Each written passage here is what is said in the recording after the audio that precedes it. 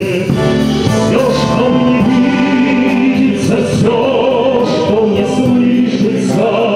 Концерты ансамбля традиционно проходят во Владимире уже 15 лет. В составе ансамбля мужской хор, оркестр, балетная группа и сольные исполнители. Среди них три заслуженных артиста России, три заслуженных работника культуры России, а также лауреаты различных всероссийских конкурсов.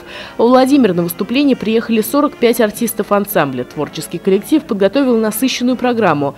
На праздничный концерт пригласили сотрудников Росгвардии, членов их семей, студентов профильных колледжей, членов военно-патриотических клубов, кадетов и юных армейцев.